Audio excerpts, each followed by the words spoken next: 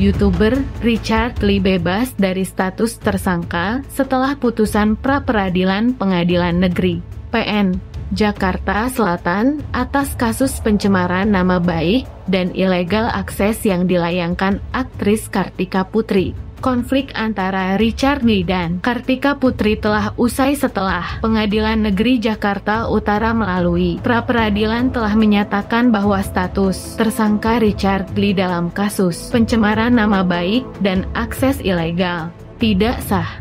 Richard Lee mengungkapkan bahwa ia tak akan memaafkan Kartika Putri dan tidak akan membalasnya. Ia juga malas memperpanjang kasus ini. Dia yakin Kartika Putri akan mendapatkan ganjarannya karena telah membuatnya berurusan dengan hukum.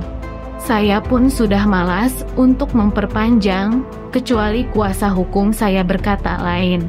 Tapi yang jelas saya tidak akan memaafkan, dan saya yakin ada hukum yang lebih tinggi dari di dunia. Ungkap Richard Lee Rabu, 16 atau 11. Jared Lee mengaku sangat senang setelah dua tahun menanggung malu atas statusnya sebagai tersangka di dua kasus berbeda. Bayangkan selama dua tahun ini, saya dan keluarga menanggung malu saya dibilang tersangka dari dua kasus berbeda, kata Richard Lee. Perseteruan keduanya bermula saat Kartika Putri melaporkan Richard Lee dengan tuduhan pelanggaran UU ITE yang atas dugaan pencemaran nama baik oleh artis Kartika tahun 2021 yang lalu.